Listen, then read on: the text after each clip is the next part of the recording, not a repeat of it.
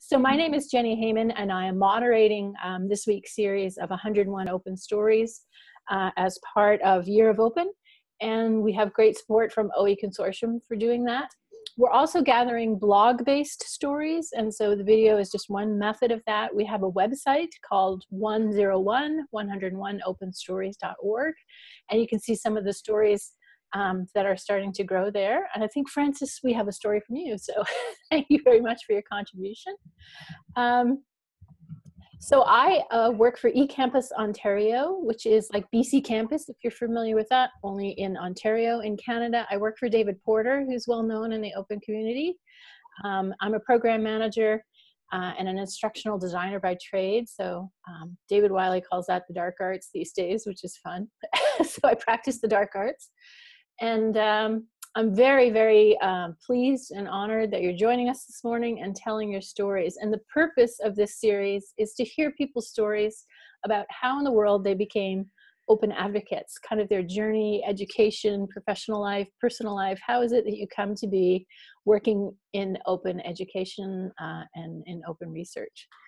Um, so let me start with Penny. Penny, if you can just introduce yourself and tell us where you are and what you're working on, and then we'll move into the stories just after that. Thanks, Jenny, and, and um, also thanks. It's a great privilege to be telling my story today, too. I've been, uh, I love Twitter, and I've been tweeting for a couple of years, and bits and pieces of my story have come out. But this is this is a great opportunity to get to know people a bit more and about where they're coming from. Anyway, I, am um, I have a background in, in secondary education in maths and science, and at the moment I'm doing a PhD going solo by myself at home on um, looking into open education and teacher professional learning. So thanks, Jenny. Wonderful. All right, Kay, and can you introduce yourself? Yeah, hi, my name is Kay, and I'm in Brisbane, Australia. And um, I've got to thank Penny for introducing me in, uh, and inviting me to participate in this webinar. And um, I also come from an education teaching background, but primary. And I am also doing a PhD at the moment, uh, and I do a lot of my work at home. Um, I'm looking at how teachers experience professional learning through their personal learning networks.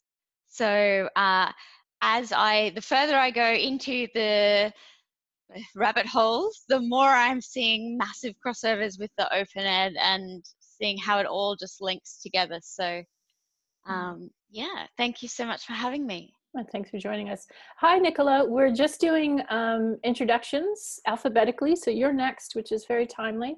So if you can just tell us where you are and introduce yourself, then we'll roll into storytelling. Uh, okay, great. Uh, can you hear me? Yes, yeah. Checking. Okay, so I'm Nicola Pallitt. I um, work in the Center for Innovation in Learning and Teaching at the University of Cape Town in South Africa. I've actually prepared a little open story ahead of time, you know, and I've put some links in that document. So I'm going to just share the Google Doc. It's got commenting enabled. I'm sharing it over there. Uh, just in case, you know, I might mention things and folks wonder, you know, what is that or where's the link? Great. I'm going to give it to you ahead of time. Lovely. Cool. All right, thank you. And Peter, uh, good good afternoon or good morning. I still, we still are where you are. okay. Yeah. Hi. Uh, well, first off, it's thanks to Chrissy for inviting me and telling me about this, and uh, so that's really nice. I um, I suppose in terms of my open that I'll talk about today, I've been working in um, a community open online courses site, which is about openness not being necessarily part of the academy. Although I personally am working in the academy because mm-hmm. I work at a, a, college in Blackburn, Lancashire. So I'm in the UK, in the northwest, around about north of Manchester, if you know where that is. And um, so I, I teach in education studies, and I think openness is something I'm encouraging with students and people out more, not students, that is more my main interest, is about what openness actually means, you know, and how it, where does open stop, which I think is nowhere, but I think that's like, um, it's a difficult thing to move from the concept of open between the academy and, and academics and, and, knowledge as it is, and openness and includes everybody and everywhere. So that's what I'll talk about. All right, lovely. All right, so we're going to go back around the circle. We're going to start with Penny with uh, storytelling, and I would say you know ten minutes or so, Penny, and then we'll uh, we'll just keep rolling through. Okay, could you give me the wind up signal when we're getting close? yes, yes, I can. Yeah. Good. Um, I guess my story comes from um, two points of view. That is, that is how openness has affected me personally, and then what I've been doing as a, as a professional, as a teacher. So um, I, I've got, I wrote a little bit down about my story here today. I um, started my career as a, as a, um, a research scientist.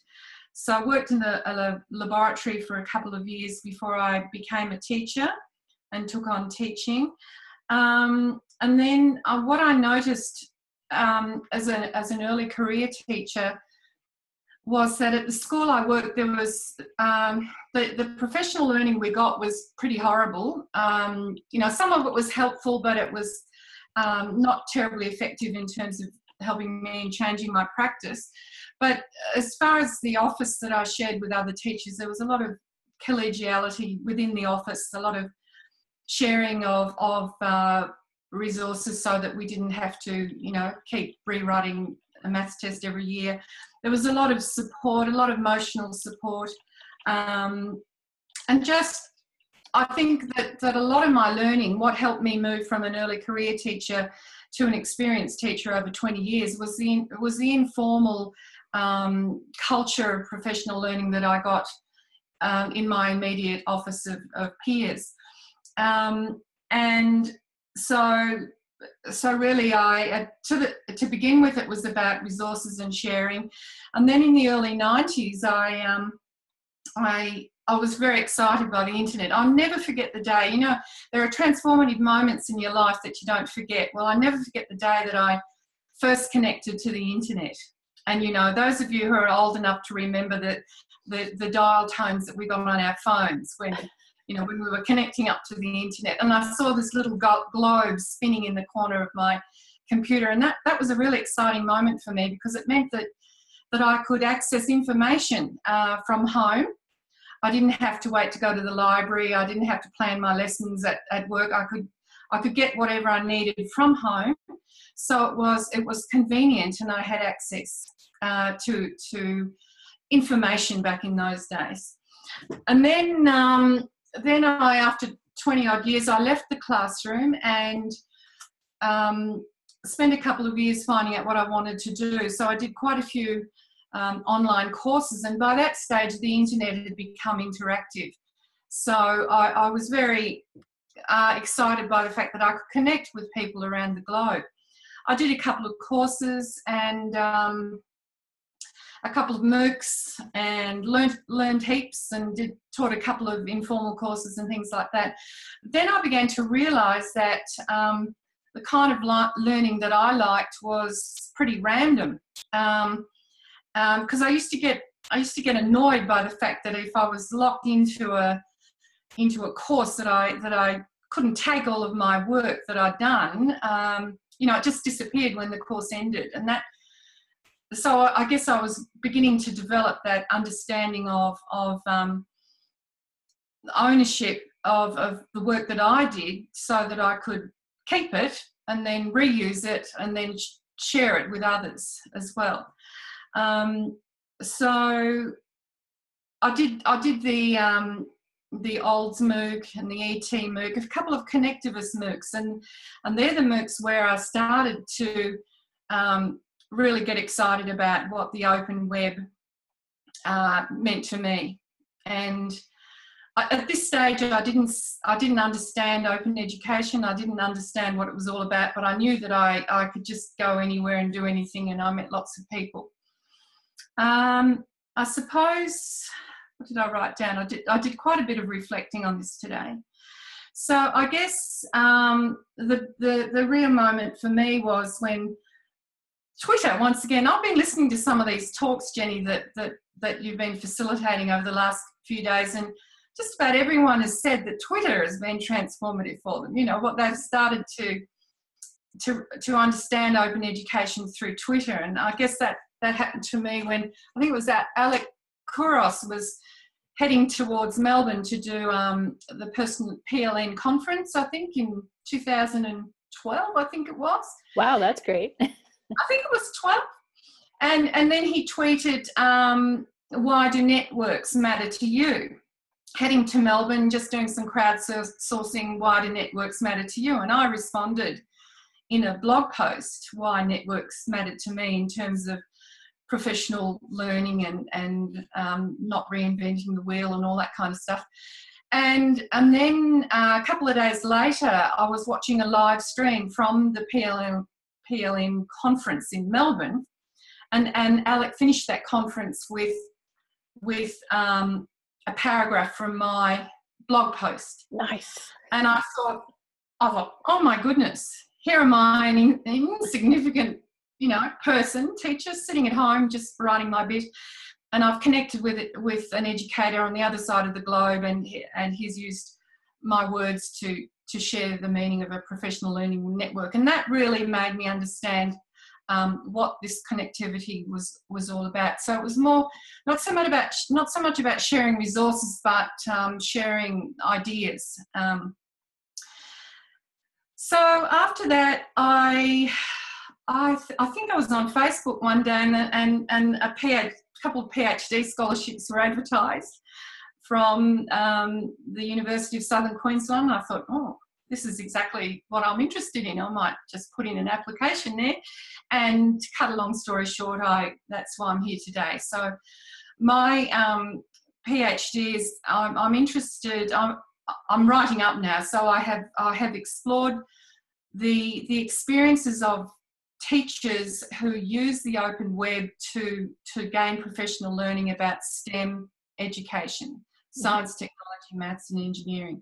So I'm, I'm interested in their experience from their point of view because the literature says, and anecdotal evidence you hear all the time, that professional learning is not effective despite the millions of dollars that that are spent on it, the, the millions of hours that go into professional learning, but it's still not satisfactory. So I wanted to go out and find out why. So I've chosen a group of teachers who are doing something different. They're using the open web to gain um, professional knowledge, uh, you know, to, to learn professionally about STEM education. I wanted to find out what it is about their different experiences that are meaningful and effective to them. What is it that that um, what is it that they're aware of. So I'm trying to connect their awareness to meaning. And um, I'm using the, the approach of phenomenography to do that. And phenomenography has a, a long background in the area of, um, of teaching and learning, um, mostly in the higher education sector, all that, all that work done about conceptions of learning, approaches to learning, deep and surface learning, solo taxonomy um, is quite a history of, of work from the perspective of teachers that has gone into the, the tradition of phenomenography. So I'm mainly trying to look at, well, are, do teachers hold different conceptions of learning when they're learning on the open web? So I've got some really interesting results and I'm just trying to write up a thesis, which I'm finding really challenging. Um, and just quickly, from a personal point of view, how the web has changed me um, is I've, I've always been a person, and this has come up before. I think I think Jenny, you might have mentioned this in earlier on. I, I um, I, have always been a person that's my head is full of ideas, but I, I never had the confidence to to to speak up. Um, I call it introversion. I'm, I'm not shy, but I uh, but I um you know, things stay in here. Whereas, whereas being on the web has given me the opportunity to to overcome those barriers that I put on myself. Um, it, it's brought out my confidence that I can get at and show what I can do. I talk to different people. I have a good network. Um, yeah, it's just made me more confident as, as an educator, and um, I think that's a really special thing about the web. Um, being able to go to conferences and, and learn um, that way. I used to blog a lot, but I haven't blogged much lately. so I guess so professionally it's changed me and, and personally it's changed me and it's it's because of the open web it's because of open education because of openness that I I'm doing a PhD now and hopefully making a small contribution to um, to the movement by adding some empirical evidence of, of um, teachers' experiences of learning this way. I guess that sums it up, Jenny.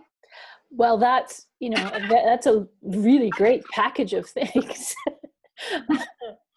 Great. So, um, Penny, I'm I'm gonna maybe skip over questions and see how we do in terms of uh, our full hour. So, thank you very much for your story. Oh, lost you. Lots of things. Yeah, have we lost Jenny? Yeah, Jenny's frozen. Hmm. Oh, she's coming Just, back. she's just dropped out. Yeah. Okay. Hmm. Hmm. I'm making the hmm face. It says my internet connection is unstable. Which, you know, not sure if the internet or me. All right, cross your fingers that it goes that it goes well. so thank you very much. I was saying, Penny, for a lovely story, and uh, we're going to move on next to Kay um, and hear your story. Thank you. Thank you so much. And listening to Penny speak, I was thinking just how many similarities that uh, there were. Uh, I also had done some reflection. I've written down a few notes and I was like, oh, that's what I was going to say. That's exactly what I was going to say. I Um, can still say it. yeah, I'm going to have to. yeah. I was going to um, share my story from the perspective of myself as a learner because although I have been an educator all of my adult life, and uh, even while I'm studying my PhD, I'm still working as a sessional academic and teaching. I'm teaching this semester inquiry learning for the Master of Education at QUT, at Queensland University of Technology. Um, from the perspective of a learner, is where I think that the open uh, environment, open access, open education has had its biggest influence on me. And I think that when I when I think back to when I was a little kid, I was a nerdy little kid. Um, I loved reading the encyclopedia. Mom and Dad had this World Book Encyclopedia set that sat on the bookshelf, and I'd already read all my books. We'd go to the library every week, and I'd get new books, but I'd always fly through those. And so I turned to the encyclopedia, and I used to read that. And I loved getting all this information, but there was a problem because it didn't take long before I'd read all the encyclopedia as well, and there wasn't anywhere else to go. And mum wouldn't take me to the library more than once a week, and you know, you could only borrow one book a week from the school library, and I just couldn't access the amount of information that I wanted to because I just wanted to keep reading and keep learning. And so it wasn't surprising, I guess, that um, I went into primary school teaching and started teaching firstly year one and early years. And um, it was around the time that I started teaching that uh, Web 2.0, all of those sorts of things started to come out. And I was really excited because I had finally a stable internet connection and I had finally an encyclopedia that would never run out. I had, you know, the the access to the information, and then even more exciting. I mean, I used to spend hours on the Stumble Upon app, just randomly stumbling from website to website to website till it had gotten to this ridiculous amount of websites that I'd been to, and then I discovered that I could actually contribute as well as as you know suck it all down. So I could start. I started blogging um, I've had lots of different blogs over the years. I wish I kept them all. I wish I'd maintained it all in one blog because I'd love to look back at my thinking from way back then. But um, you know, I, I haven't done that. But um, from being a primary school teacher, I um, became an, an assistant principal and then moved into teacher librarianship, which was where I felt my real calling was because that was where the information was. That was where the that I could be around all of the information all the time, not just books, but accessing the internet, information literacy, all of those different things. And um, after, oh, I don't know how many years, 15 years, I moved into a position as the librarian for Brisbane Catholic Education. So I was the librarian that administered the Central Library and supported the staff of 130 schools. There was about 10,000 staff, um, and uh, also provided a digital library for uh, the students. And that becoming the librarian was really the catalyst for me. I think where I really started to understand the possibilities of sharing and accessing open information because there were two things that happened. First thing was part of my role was to become the copyright advisor for the whole of the Archdiocese. And uh, that was new to me. I wasn't really familiar with all of that. I did a lot of reading, a lot of research, and I discovered Creative Commons. And so discovering those licenses and discovering that we had a way because the uh, the system was producing a lot of resources um, and because we had the internet to provide access to them they were sharing them publicly but it was like you you can't just use any images you find on google images you know this is you just can't do that you know. Here's this other way creative commons you know and public domain images there's this growing amount of stuff that we can use and remix and share and if we label our stuff in that same way others can remix it and it was this whole world that opened up. And one of the high points for me in that respect was um, one morning I had this particularly curly question come in from a school and I wasn't sure the answer and I thought, you know what I'm going to do? I'm going to tweet Larry Lessig. And he, you know, he's the head of, you know, the, the father of creative. I thought, you know, I'm going to do it. I'm not a very outgoing person, like in terms of um, meeting people face to face. If you meet me at a, like a cocktail party networking sort of event, I'm the one standing behind other people trying to hide. But when it mm-hmm. comes to online, I feel like Penny was saying, I feel free. I feel confident. And I thought, you know what? What's the worst that can happen? He can just ignore it.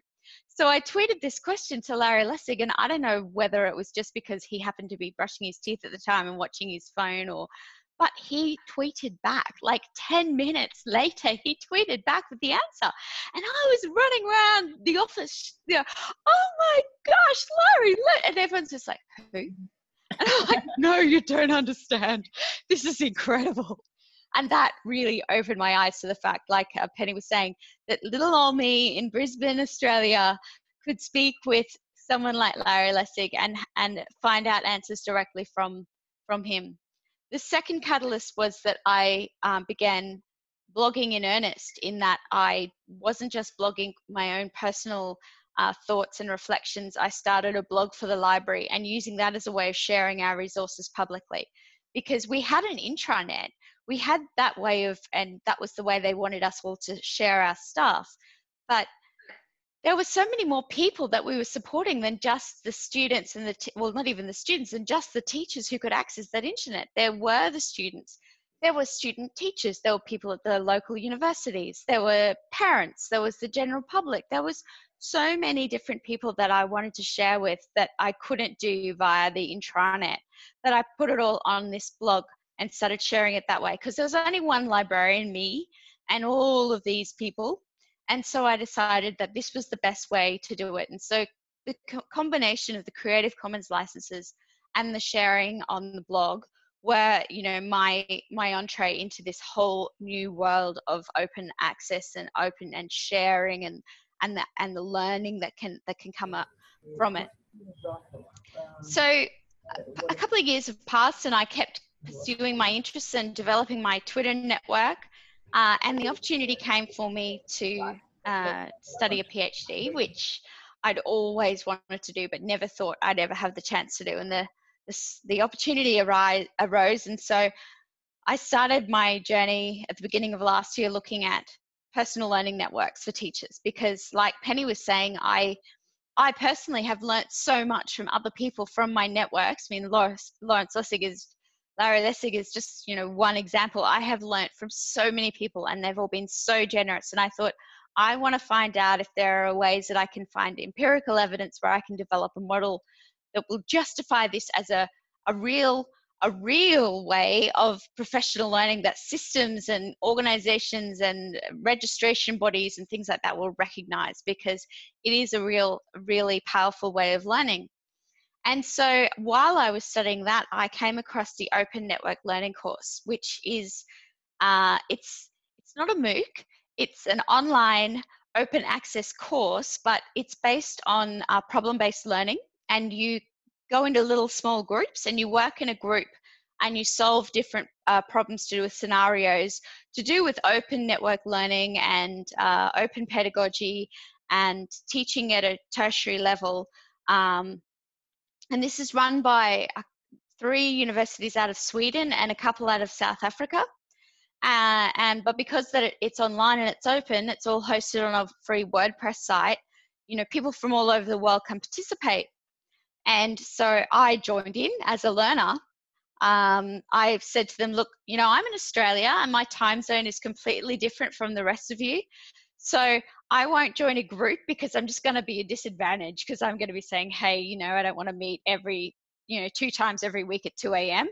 Um, but they were very kind and very open and flexible as you know i've come to see in the open community everyone is so encouraging and um, said no no we can make a group we can do this we can make it work you know it might be 6 a.m for you um, and 3 p.m for everyone else or you know it might be but there'll be a sweet spot somewhere that we can meet. And so i've been involved in three iterations of that now and this semester will be the fourth iteration. After being a student participant in the first iteration, I have been a uh, group facilitator for two, and then this third one, I'm actually hosting a webinar with um, another educator on open education. Um, and there's people in my group from, there's been people from Sweden, Poland, France, Pakistan, Singapore, you know, other Australians we find this sweet spot and we're able to meet in small groups and do this problem based learning. Uh, each week we meet, we create a, a, um, a web based artifact that we then share to the larger cohort. There are webinars that we participate in, there are conversations, there are tweet chats. We had a tweet chat with Alec Couros. He's one of my heroes. I just um, and all of this has it's given me confidence, as Penny was saying, but it's also just really allowed me to do more than I ever thought I ever could. I, I have this image of myself as little old Kay in Brisbane, Australia, but now I'm interacting on a global, you know, stage, and it's amazing. There's still a few drawbacks because you know we do still have time zones. We can't really move the sun. I wish we could. Um, so you stop the world from spinning a little bit so that our time zones aligned somehow. Um, it is a long way away from other places. You know, like there's a conference, the Network Learning Conference. Oh my gosh, I so want to go to it next year. It's in Croatia. Uh, it would be my dream come true. But you know how far Brisbane, Australia is from Croatia? it will cost a fortune to get there. And, you know, it'll be a huge thing. I, I'm determined. I really want to do it. I, but it's it'll be like a once in a lifetime thing whereas if you're based in europe this might be something that you you know might consider as part of your learning. You know this is something you, you just you just do you know? Uh, so there are you know still things that we have to get over but wow how far have we come? And how honored am i that you know we that I'm I'm able to be part of this and, and I'm hoping that through my research that I can help more people step into this world because I know there's still a lot of people out there who aren't part of it. And if that's their choice, totally fine. not going to drag you in by brute force. But if you want to be part of it, you know, I want to be able to be someone who can help you do that. So I don't know how long I've talked for then. It seemed like I was talking a million miles an hour. that is absolutely perfect.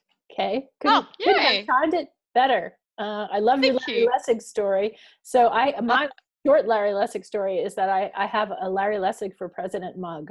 So while he was the very brief moment that he was running for president, I snagged up all the goods. So. Oh, fantastic! commune over coffee because I have his mug. That's so awesome. All right, thank you so much, Kay. That was an amazing, a really great and amazing story um, as well. Um, Thank so you. We're going to move on to uh, Nicola, I think, alphabetically. Sorry, Peter, you have to go last.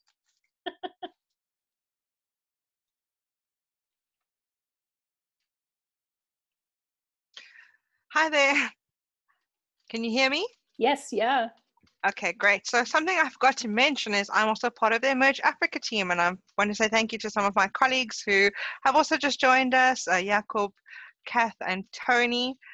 Um, yeah, so I shared a link to a little Google Doc a while ago um, with my um, sort of my open story, and I think it's very much, I guess, how how you feel right now uh, is is about openness and where things started. One has to go back to artifacts and get a sense of your practices, your thoughts, how those shifted.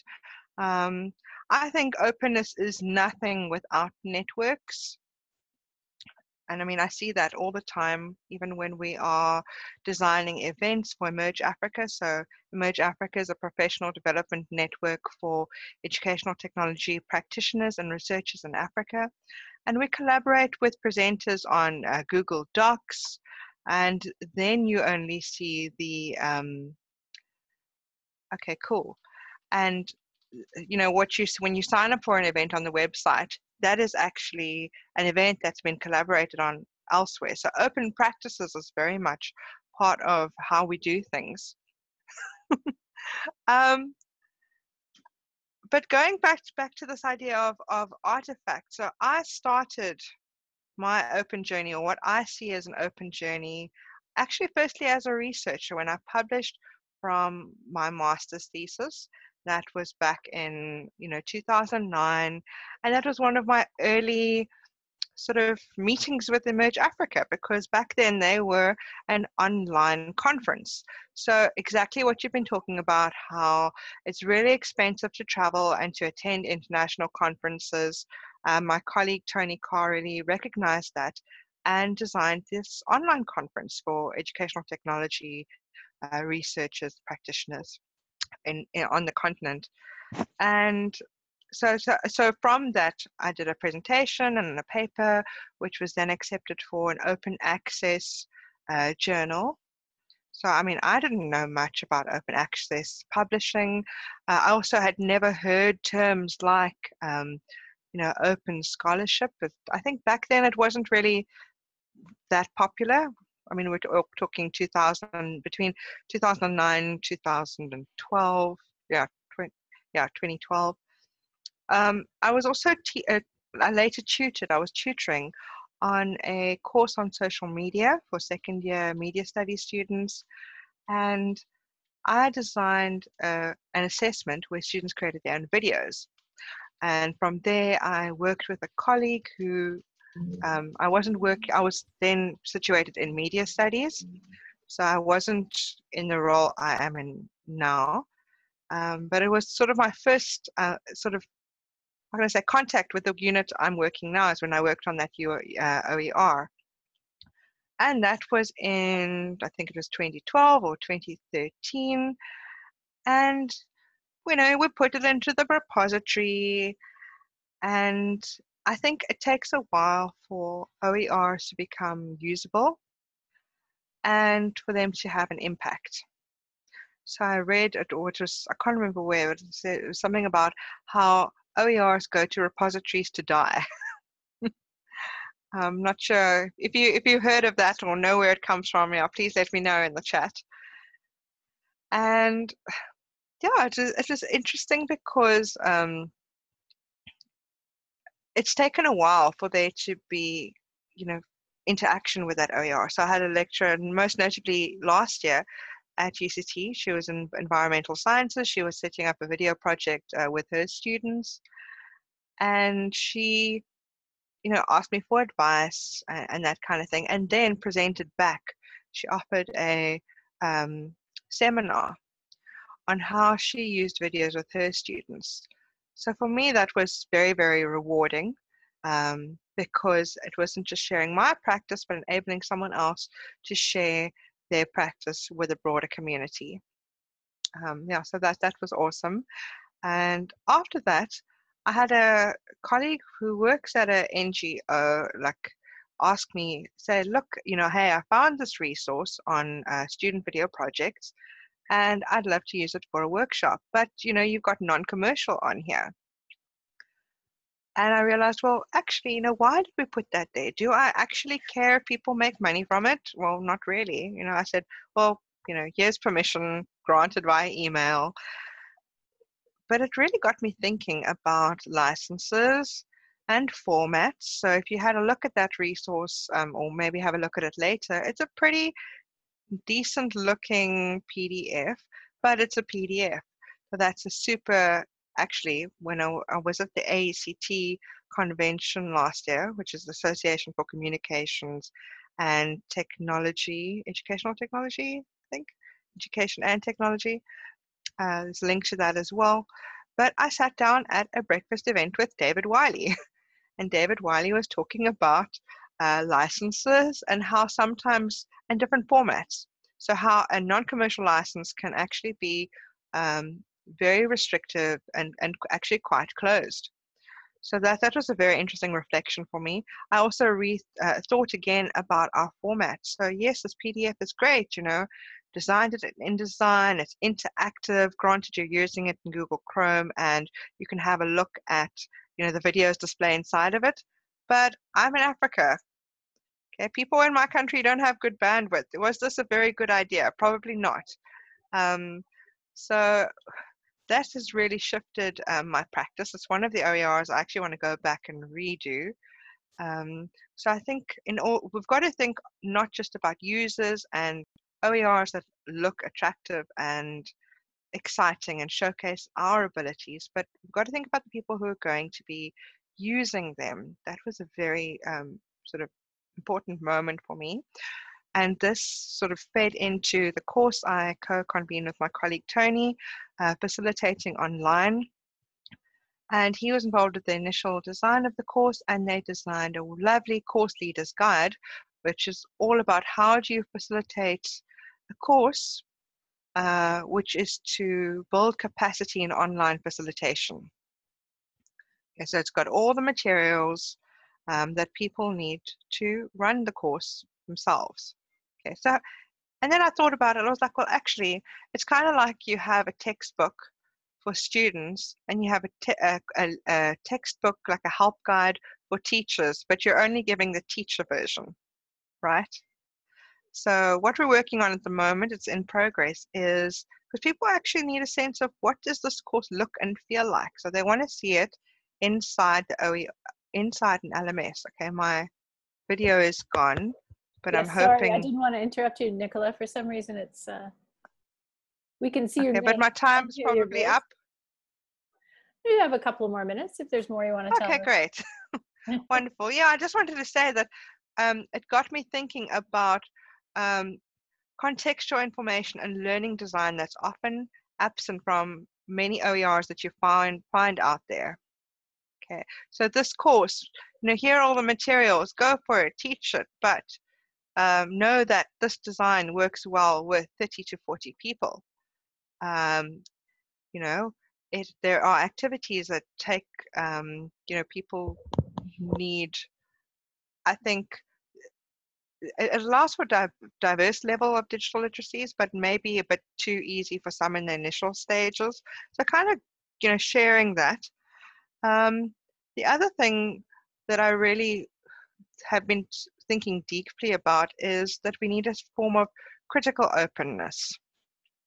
And that we think about openness in relation to, um, you know, we think about in relation to our own context and what that means, and how do you enable open um, practices, uh, the uptake of OERs, OER adaptation uh, in your country? What what are some of the some of the barriers? So obviously for us, one of the things is format. So this webinar, like we're having right now, it is, you know, we're using video. Um, video is very high bandwidth. So what we do with our Emerge Africa um, webinars, so I shared a link on YouTube. You can go watch some of our past events and you're welcome to join us, um, to join our network while we may be situated in Africa and, you know, focus on the continent are our primary audience. We're very open to anyone joining us, but we just use audio and slides because it's the least bandwidth intensive. So, I mean, even here we're sharing practice, but it's quite a like a northern perspective on on sharing practice because of the bandwidth involved. Um, so those are the kinds of things that I think when we're thinking about a critical openness, it's about the design choices uh, that are involved in that open practice. Yeah, but I really I knew this was gonna I, I, what I wanted to say was gonna be more than 10 minutes so I prepared a Google Doc ahead of time with links so feel free to it's commentable uh, by the way so if anyone wants to stay in touch you feel free to do so. Cool. All right lovely. Thank you so much Nicola I'm going to just to let everyone know um, once I finish these four days of, of video I'm going to on the 101openstories.org website um, organize the videos and any associated links. So I'm saving the chat, which is great for me, um, and making sure that ever, that uh, at least your your Twitter information is there so that others can contact you, which is um, which is really lovely. One of the things that you talked about, Nicola, that really resonates with me uh, and has emerged as a new conversation um, with Pressbooks. So uh, here in Canada, we're working with Hugh McGuire and uh, his colleague Zoe for, uh, on Pressbooks projects. Um, but one of the things, as you say, OER goes somewhere to die sometimes. Um, uh, one of the things that we're now talking about is how to add facilitation guides to OER. Um, so how to, to ensure that somebody knows um, how we have used this resource. They're under no obligation to use it that way. But if sometimes resources are designed for a very particular size of audience, uh, or for in a very particular format for good reasons. Um, putting accompanying guides with them uh, can actually help the next user um, to at least know where to start or at least have some background in how the resource was initially used. So I really like that you mentioned that and I, you know, I think that's a great aspect that we can include in in our work um, making OERs and sharing them is you know how to a little bit of a how-to guide doesn't have to be elaborate uh, but it might be of help so great. Thank you very much, Nicola, for sharing your story. And we're going to move over to Peter now.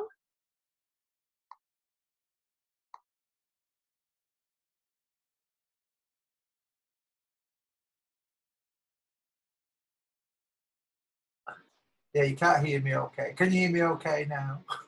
okay. Yeah, the mute doesn't help. Yeah, very good. Uh, Peter, um, I don't know where to start on mine. Some people have gone quite far back and some not so. I think um, the thing, I think I'm not sure how much part of an open community I'm in one respect, but I've got a real interest in it, and I I'm not sure. One of my quotes that I've got from a participant, I'm doing a, a thesis on mine. I'm writing a PhD thesis on the COOCs, and somebody said to me, uh, well, it was a couple of years ago, but I've just been writing it up recently and, and they said that we need to stop being students and we need to stop being teachers and we just need to be people, people that learn. And it kind of summed up a lot of the stuff that I've been interested in for a long time. I, I went to university when I was 18 and I was the first person that went. And I, and I had an okay time. But um, I went to university in London, and London was a lot more educational than university. And I, I think that in life, I've realised that we, we cut off so much and what openness promises and that I really liked some of the stories about the internet and you know Penny's about it giving confidence. I really appreciated that as well and the connections that you make and Kay's stories as well. The Lawrence Lessig thing. Actually, I've got a split between that. I once emailed. I did phenomenography for a paper and I, and I sent I sent a question to Ference Marton, and I thought he must be dead. And he replied to me I actually sent him the paper after that. He didn't reply to that. so he's, he's off my Christmas card list now. But I think that one of the things that um, I've been interested in about Open, my first educational stuff, I was in Greece and I was teaching the children of people who worked in hotels. And when I came back to the UK, I come from a town in uh, the north of England called Wigan. It's got a famous rugby league team, so I mean, it might have some resonance in Brisbane, but nowhere else. But um, it, it's a working class town, and I realised that my experience of school was really negative, and it wasn't on my own. But that didn't mean that people who didn't go on to university weren't particularly weren't bright or weren't learning lots and weren't doing lots of things. The, the opposite was true. They were living very rich lives, and as I came back from Greece, I started teaching over here as a TEFL teacher and uh, as an English uh, literacy teacher. And I realised that the system, the curriculum, the colleges, the things that were set out to help people were actually just trying to batter people into submission more often than trying to help them. It wasn't about teaching people how to live better lives. It was teaching them how to become more economically viable units with level twos rather than just doing what they wanted to do. And there was very little, even in terms of openness in universities, as I and widening outreach. I was really interested in what if open could be two way, rather than it being the universities always facing out what if it actually let people in? And I don't mean people coming into the universities and becoming students, not having to become something else to enter, but the knowledge that they brought in was there. And, and as a literacy teacher, and I did this not really for a qualification, I just started reading a lot of Paulo Freire and popular education. And he's one guy that I read, and I thought, well, this is just brilliant. And the reason it was brilliant was it just got rid of theory. It wasn't he, just get called a theorist a lot. I don't think he's a theorist. I thought he's just somebody who's talking about respecting people. And I think openness is a brilliant way of being able to have mutual respect. And um, I'm aware of the issues of distance that people have talked about. So what what I did was when I created the course, the COOCs thing, I worked with people who, a lot of them were in uh, universities, some of them were colleagues, and what was interesting was that people who were my colleagues in university were using it to do things that they couldn't do in university. So they started to use it. It's a Moodle platform. I've got a whole history of that, of how much time it took us to get the technology right. And we ended up using Moodle because of a community volunteer who found it and gave it to us. But people started using it in different ways. But the more interesting thing was that I have people who created one example I'll give is there's a, um, some friends who they are friends now, they were just acquaintances that met online from Leeds, which is about 70 miles from here. But it's a different county, so it's a different world, Leeds. But they um, they they work with people with schizophrenia, and, and they weren't they were fa- they have family members who were schizophrenic, and what they wanted was a place where they weren't immediately medicalised and it became a medical problem, or they weren't uh, immediately problematised because it was something to do with social services.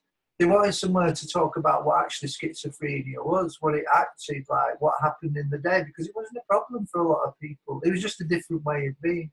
So the place that we created, they they came together. They created a group. I think we acted partly as their catalyst and openness was the openness to question what knowledge was and where it came from. And it wasn't that it came from universities or it came from academies or it came from establishments or institutions, it came from people. And I think that was the openness that I've been really in, involved with. And, and, I went to uh, one of the OER events in Newcastle. I was trying to remember what year it was. It was either 2012 or 2014. It was a great event. And I, but I, I remember thinking then that, you know, when people talk about openness from the institutions, it just sounds institutional. And when people talk about openness from the, the perspective of people, it feels like a very different thing. It feels like an exciting thing. It feels new. It feels open. It feels like the excitement of the spinning globe back in the late 90s, early 2000s, somebody mentioned, and, and the idea of being networked. And so that concept of open for me and what I'm interested in and what I think is really there is is a breaking down of the walls between the academy, perhaps more than we're comfortable with. I've got my own experiences of MOOCs, and one of the things that we created this for was on MOOCs. I realised that although MOOCs CMAs, and there's a lot of knowledge going out, you've either got the really big corporate MOOCs the Coursera uh, and the edXs and things that are expertise being given away. It seems like there's always a catch, and there's definitely a catch with those. Or, or on CMOOCs, I invited people onto a few CMOOCs that I've been involved, and they were terrified because if you don't have a background to have that discussion, if you don't have the confidence, it can be quite terrifying spaces that you know, they are quite detailed. They do use academic language and they do use academic ways of getting into a conversation and, and how we talk about generating knowledge afterwards. And so once we've started creating courses where people use people from homeless shelters, I've got a couple of examples I mentioned in a minute, the schizophrenia group, lots and lots and lots of small courses. We've got people doing Urdu courses for the community and little things like this. With core, with student numbers less than 10 in the main, less than 10. And it's because knowledge then is fluid and it's, and it's really, um, it's emergent and then it disappears and you can't put any of the measures that we're used to on it. You can't put measures of how many times did you come. You know, the new problem of drop off. Who cares about drop off? If you go in and you use it and you got the information you want, you never visit again. That's your choice. Why do we always have to impose this? This thing of oh no, the you know the retention, the achievement, the success, the accreditation. Forget all that. If the learning's apparent and if it's worthwhile, people come together, use it, and do it it's it's what it needs to be. That's what open can be. That's what I think it is for me. I think another thing is I, I, I there's lots of examples of you know this it's hitting famous people. I wonder how they feel. I was I had an interview with Howard Rheingold once, and, and he talked about networks, and he was such a, a fabulous guy. But the best thing about that was after being like a fanboy, which I was, but after that moment, lots of other people that you didn't possibly you, you couldn't have known but who watch and listen to what he says they contact you and your network broadens in a different way and some of those networks become communities and some of those communities and this is the beauty of it i've just noticed down the bottom is a great great friend of mine now alex dunedin's joined in because one of the things that i've realized about openness as well where distance is a problem and the conferences, and I really hope Kay you get to go to Croatia for that. I think you should do a crowdfunding. I, I think we'll all throw a pound in each. But I, I think that we we don't want to create. There's a guy I uh, read, and he's from Cape Town. There's so many links to things. A guy called Chetty, and he talks about how universities were creating a network that spanned the globe. But it, they were all they were like spaceships that dropped into communities and they didn't engage with the communities. They just made links to the next spaceship. Do you know? So the, the, the universities in cities were making links with the universities in the next cities and forgetting the cities that they were from. Alex is involved with something called the Ragged University, or runs the Ragged University, where the, a lot of the things that we've done on COOCs and the idea of open is it's online. But online excludes as many as people as it includes. And so there's an additional thing to this where you could have free, and, and, and they do run. Alex has been running these for years. We've started just last year with a few. But free public lectures. We have them in pubs. Alex and I have them in cafes, in restaurants, and pubs as well, and, and community centres. So the idea that people can be open, they can use the network of the the web can allow openness that allows different people to come in but then those communities can generate learning in their spaces.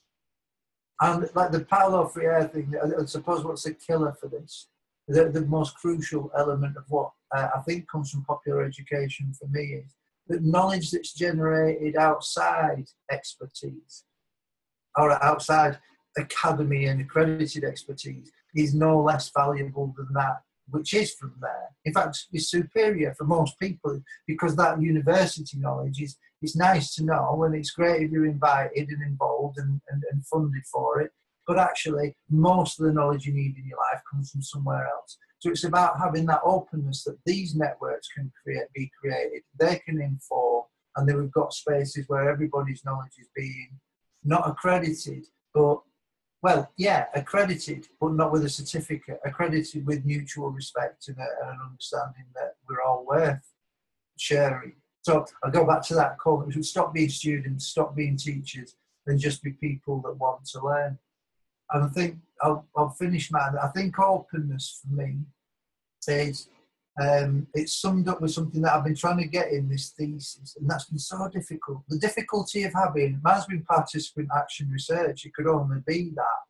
But what's been really difficult, and, and it's really it's really fixed it in me as a lived thing, is that actually trying to write a report of things that are multiple million, well, not millions, but lots of people's lives is just, it's ridiculous. It's a continual compromise and it's not the best way to do it. But it's the only way I'll get the thesis, and I've been doing it that long now. It's cost me a fortune, so I am going to get it. But I do realise that that's not really what this project was about.